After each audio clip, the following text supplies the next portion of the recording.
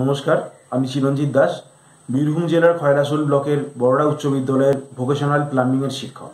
আমার আজকের topic site management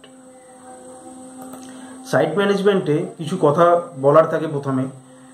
site management actually কি? সাইট ম্যানেজমেন্ট হচ্ছে কোনো একটা প্লাম্বিং সিস্টেমের কোনো একটা পার্টস হয়তো খারাপ হয়েছে বা কোনো একটা অংশ খারাপ হয়েছে, সেই অংশটাকে আমি রিপেয়ার করব। তো রিপেয়ার করার যে পুরো সিস্টেমটা প্রথমে শুরু থেকে শেষ পর্যন্ত, পুরো ব্যাপারটাকে পুরো যে ম্যানেজমেন্টটাকে সেটাকেই বলছে সাইট ম্যানেজমেন্ট তো প্রথমত আমাদের জানতে হবে যে cause of damage to the pipeline and plumbing system plumbing system বা পাইপ লাইনে আমাদের ড্যামেজের যে কি কি কারণ হতে পারে, সেগুলো আমাদের জানতে হবে। প্রথমত হচ্ছে ডিফেক্টিভ জয়েন্টিং মেটেরিয়াল মানে যে জয়েন্টিং যে মেটেরিয়ালটা থাকছে, সেই জয়েন্টিং মেটেরিয়ালটা ডিফেক্টিভ তাহলে ড্যামেজ হতে পারে। Direct strike on the body of the pipe with any sharp edge while jointing joint করার সময় যদি একটা কোনো শার্প এজ দিয়ে পাইপে আঘাত করা হয় আঘাত হয়ে থাকে, তো সেখান থেকে একটা পরবর্তীকালে ড্যামেজ হওয়ার একটা চান্স থাকে। Corrosive nature of soil causing damage to the external surface of the pipe corrosive corrosive nature corrosive nature বলতে ক্ষয়িষ্ণু। একটা যে কোনো মাটি বা যে কোনো কিছুর একটা ক্ষয়িষ্ণু ধর্ম থাকে। মানে সেটা সময়ের সাথে সাথে ক্ষয়ে যেতে থাকে। তো সেই মাটির ক্রমশ ক্ষয়ে যাওয়ার নেচারের জন্য সেখানে যদি কোনো পাইপ লাইন থেকে থাকে, সেটা ধীরে ধীরে নষ্ট হওয়ার একটা চান্স থাকে।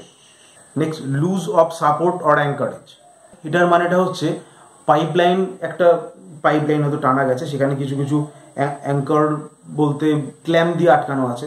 তো হতে পারে সেই ক্ল্যাম্পগুলো প্রপারলি মানে শক্ত করে ফিট করা নেই সেগুলো লুজভাবে আছে। তো সেখানে কোনো সময় প্রেশার পড়লে সেখান থেকেও একটা ড্যামেজ হতে পারে। তারপর হচ্ছে movement of soil due to filled soil কোনো একটা জায়গাতে ফিলিং করা হচ্ছে ফিলিং করার জন্য একটা মুভ মাটির মুভমেন্ট হচ্ছে কোনো ক্রমশ ফিল করা হচ্ছে, মাটিটা মুভ করছে। তো সেখানে যদি কোনো পাইপ লাইন থেকে থাকে, সেই পাইপ লাইনে ক্রমশ প্রেসার পড়বে। ক্রমশ প্রেসার পড়ার ফলে সেই পাইপ লাইনটা ভেঙে যেতে পারে। এটা একটা হতে পারে। পাইপ ব্লকেজ অর স্প্লিট এমন হতে পারে পাইপের মধ্যে কিছু একটা জিনিস হয়তো কোনোভাবে ঢুকে গেছে, ঢুকে গিয়ে পাইপটাকে ব্লক করে দিয়েছে। তাহলে সেখান থেকে পাইপটা নষ্ট হতে পারে। বা কোনো সময় হতে পারে পাইপটা হয়তো কোনোভাবে বেন্ড হয়ে গেছে বেন্ড হয়ে গিয়ে যে জল যাওয়ার যে রাস্তাটা, সেটা বন্ধ হয়ে গেছে। বা কোনো সময় হতে পারে যে ইন্টারনাল যে সারফেসটা আছে ইন্টারনাল সারফেসটা নষ্ট হয়ে গেছে, সেটাও হতে পারে। এরপর হচ্ছে type of repair type of repair দু রকমের হয়।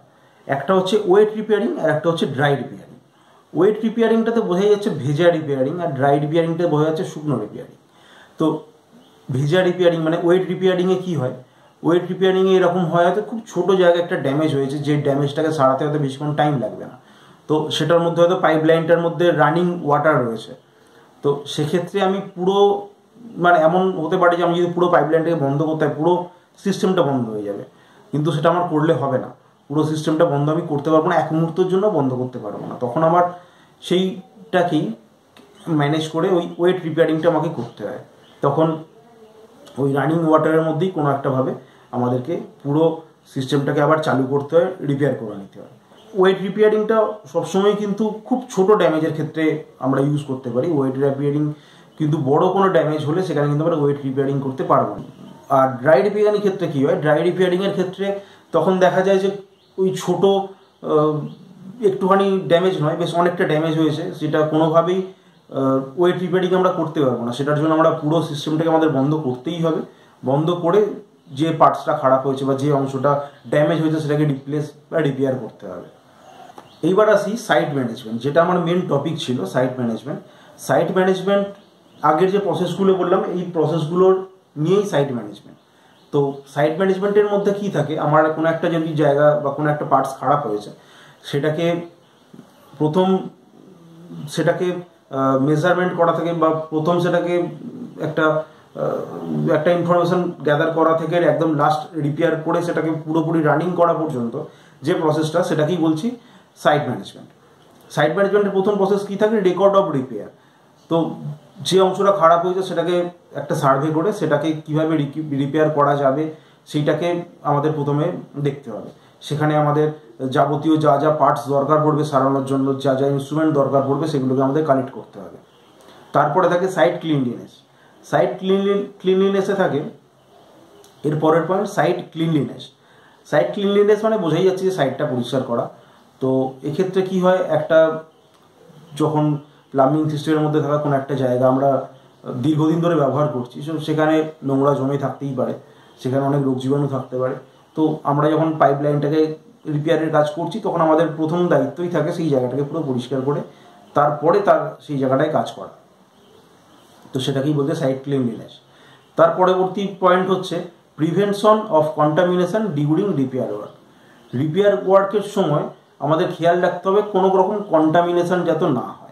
কন্টামিনেশন মানেটা কি? কন্টামিনেশন মানেটা হচ্ছে মিক্সিং মিশে যাওয়া। মিশে যাওয়াটাকে বলছে কন্টামিনেশন কন্টামিনেশন ব্যাপারটাকে আরও ইজিলি বলতে গেলে এরকমভাবে বলা যায় হয়তো একটা পাইপ গেছে পাইপটা ড্রেনের কাছ দিয়ে গেছে বা বাড়ির বাইরে দিয়ে কোথাও একটা দিয়ে গেছে। তো সেখানে পাইপটা খারাপ হয়েছে, তো পাইপটা আমি সারাচ্ছি। পাইপটা সারানোর সময় আমি খেয়াল করলাম না পাইপের ভেতরে কিছু ময়লা থেকে গেল। তো সেখানে কিছু রোগ জীবাণু থেকে গেল। পাইপটা আমার সারানো হয়ে গেল, রোগ জীবাণু কিন্তু ভেতরেই থেকে গেল। পাইপটা চালু করলাম, সেই রোগ জীবাণু কিন্তু কোনোভাবে জলের মাধ্যমে, কোনো না কোনোভাবে আমাদের শরীরে এলো। সেখান থেকে আমাদের কিন্তু শরীর খারাপ হতে পারে। তো আমাদের খেয়াল রাখতে হবে, এরকম টাইপের যেন কন্টামিনেশন না ঘটে। কন্টামিনেশন হলে সেটা কিন্তু খুব খারাপ হলে মহামারী পর্যন্ত চলে যেতে পারে। এর পরের পয়েন্ট হলো ডিসইনফেকশন প্রসিডিওর আমাদের যে জায়গাটায় কাজ করলাম, সেই জায়গাটা কাজ করার পরে, সেই জায়গাটা আমাদেরই দায়িত্ব থাকে যে সেই জায়গাটা যাতে প্রপারলি ডিসইনফেকশান করা হয়। কারণ ডিসইনফেকশান বর্তমান সময়ে অনেকটাই বেশি দরকার পড়েছে, কারণ সেটা সবাই জানে কোভিড পরিস্থিতিতে ডিসইনফেকশান কতটা ইম্পর্টেন্ট তো ডিসইনফেকশন প্রসেসটা আমাদেরকে সব কাজ মিটে যাওয়ার পরে আমাদেরকে করতে হয়। এরপরে ক্লিয়ার সাইট যে জায়গাটায় আমরা কাজ করলাম, সেই জায়গাটা আমরা ডিসইনফেকশন ডিসইনফেকশন করে দিয়েছি। ডিসইনফেকশন করে দেওয়ার পরেও কিন্তু যে মেটেরিয়ালের পার্টসগুলো ওখানে পড়ে থাকছে সেই পার্টসগুলোকে তুলে সরিয়ে দেওয়া বা বাকি যা কাজ করার সময় যে ময়লাটা আমরা ফেলেছি ওখানে, জায়গাটাকে পুরোপুরি পরিষ্কার করাটা পুরোপুরি আমাদের দায়িত্বের মধ্যে থাকে। তো সেটাকে সেইভাবে প্রপারলি ক্লিন করে জায়গাটাকে পরিষ্কার করব এই হলো সাইট ম্যানেজমেন্ট সাইট ম্যানেজমেন্ট এই চ্যাপ্টারের এই পোর্শনটা ভীষণই একটা ইম্পর্টেন্ট কারণ এই কোভিড পরিস্থিতিতে সবাই জানি যে পরিষ্কার পরিচ্ছন্ন থাকাটা কতটা দরকার, কতটা ইম্পর্টেন্ট আমাদের সবার জন্য। তো সেই জন্য সাইট ম্যানেজমেন্ট পুরো ব্যাপারটা ভীষণ একটা দরকারি একটা চ্যাপ্টার তো সবাই এটা খুব ভালো করে পড়বে। ধন্যবাদ।